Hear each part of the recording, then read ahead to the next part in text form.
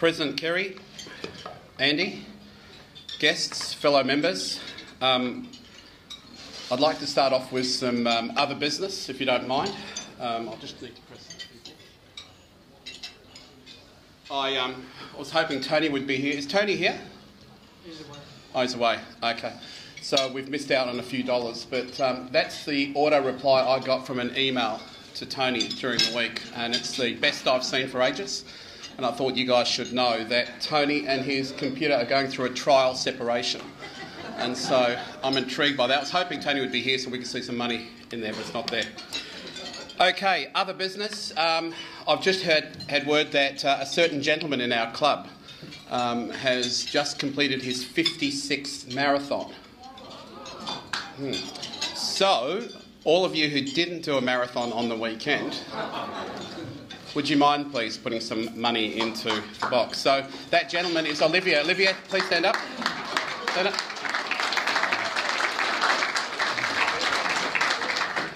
And Olivia, just in case you want to know who the tittle tattle was, it was William Somerville. Okay. Uh,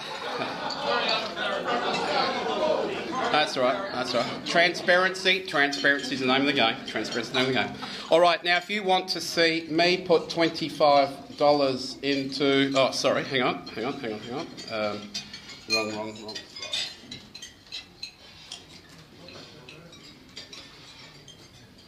If you'd like to see me put $25 into the Sunshine Box, I'm making a personal appeal. I'm looking for somebody who'd be happy to uh, Skype or email my son. We need somebody who has a history qualification or is an expert in the Industrial Revolution. So if any of you um, can provide that, I'll put 25 bucks into the Sunshine Box. Are there any um, early takers for that?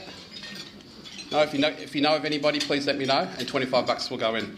Right. Um, I thought with Andy being here today that we might um, talk about oil and gas, and uh, and so while Andy's going to do the more exciting presentation, I thought I'd at least start with some um, you know a bit of a quiz, get us thinking. So let's see how we go. Um, for this to work properly, all of you on, on tables, there should be at least one clicker. Have you noticed that there's a clicker? Okay, I need I need somebody to be appointed as the clicker on the table. And I'd appreciate you uh, clicking the response. You're going to get some multiple choices. I'd, I'd, appreciate you guys clicking the appropriate number on the clicker. And the receiver on my laptop there will receive your scores. So we're going to find out once and for all truly how smart you are. Because I reckon some tables have been pretending to know answers in the past. This is going to reveal the smart and uh, not so smart um, tables. So here goes. I want to start with I want to start with the word oil. The word oil itself. Where does it come from, and what does it mean? And what I'd like you to do when you're ready, as a table, some form of democracy or some sort of benign dictatorship on the table, what I'd like you to do is to choose between one through to four. Now, no pressure, Andy, but it's just down to you and Kerry. So get your clicker. Just get your clicker. Where's the clicker? Get your clicker out. Get your, get your clicker out. It's on the table. It's on the table.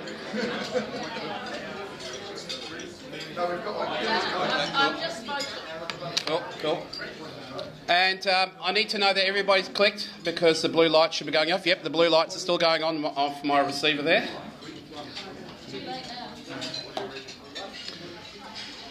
Any table not voted yet? Remember, this is meant to be five minutes.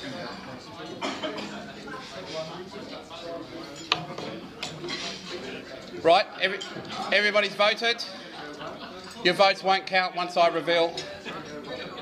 Okay, the answer was Greece. Greece meaning olive tree. And uh, there you go. Four of you thought because I'm an Arab, I was giving you a trick question, didn't you? You thought I was going to brag about my Arab heritage. Yep, uh, two, six, seven. Only seven voted. So, can we get a better? Can we get a better um, result next round? Thanks. Um, right. This next one, uh, this next one's to do with gallons, and just in case people have forgotten, I'm talking here about US gallon, which is um, 3.785 litres. So it's a metric-free zone now. So this is gallons, 42 gallons. How many gallons of petrol or gasoline come from a 42 uh, gallon barrel of crude oil? You've got a choice of four numbers. please vote. Press the number pointed in the direction of the front. No, just push the number. And your first number counts. So out of a 42 gallon barrel of oil, how much actually makes it to the petrol tank?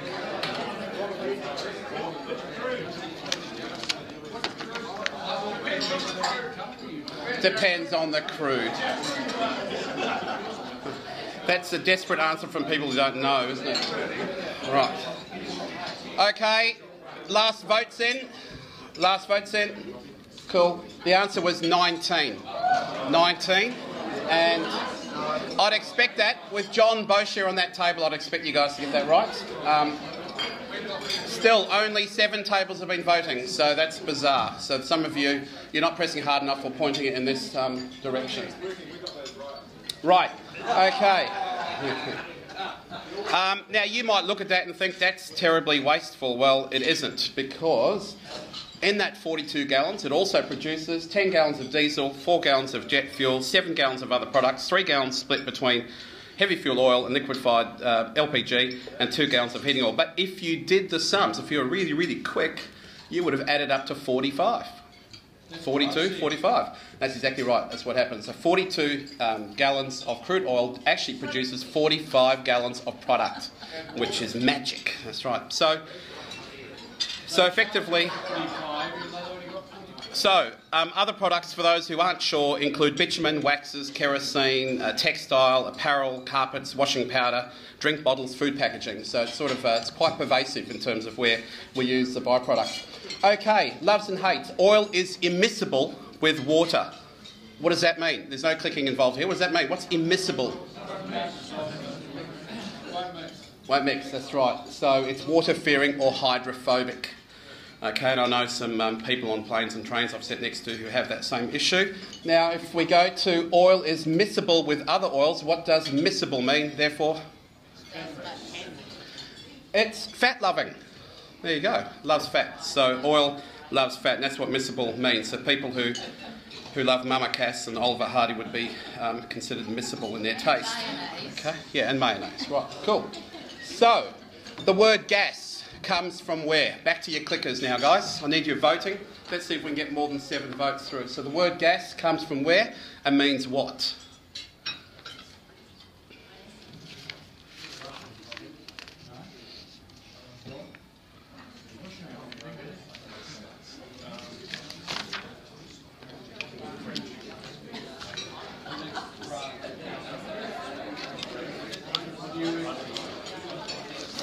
The votes coming through?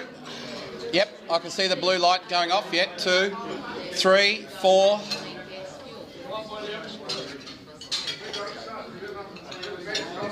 You, you've already voted, I think. Yep. You already voted? Oh, there we go. There's more. Yep, the blues are coming through. That's great. Okay, guys. So, what's the answer? The answer is Greece. It's based on the word chaos, and uh, and so. Uh, and so, oh, there are some smarties in the room. We've got eight votes. Fantastic. Well done. Right, next question. Describing gas. Gas is described through its um, properties or macroscopic uh, properties. Which of the following is not one of not one of the four properties we use to describe gas? Which one of the following four is not a macroscopic property? In other words, one of the four things we use to identify or describe gas. Sorry, not identify, describe gas, I should say. Describe gas. Please send your votes through. We've got two more questions and we're done.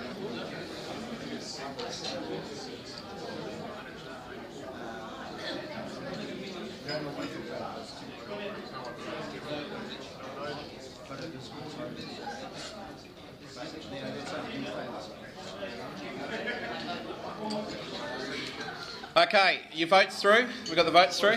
Starting to come through. I can see the blue light going off. You've all done your voting? Yep, okay. Forever hold your peace now. And the answer is odour.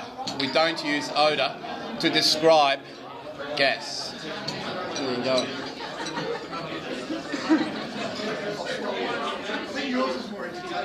Right. Right. Finally, uh, not finally, uh, penultimately, the natural gas, the main ingredient in natural gas is. Main ingredient in natural gas is. Please send your votes through. This should be fairly quick. I would have thought this is straightforward of the four. Even I knew that one. The rest I had to learn. Cool. And the answer is methane. There you go. Cool. Right. Um, okay, one, uh, one slide after this, and that is the um, who used natural gas first? States, China, Rome, England. Natural gas, where was it used first? Greece? I don't know. They couldn't pay their bill, I don't know.